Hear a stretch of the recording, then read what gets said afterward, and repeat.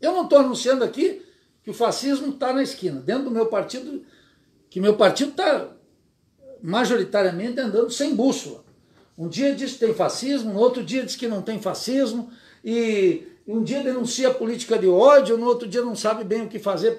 Está perdido. A condução do meu partido está perdida. Não tem solidez na análise, não tem firmeza nas políticas.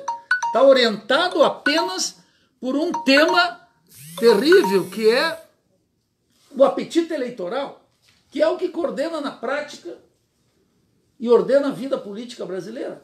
A ânsia pelo voto.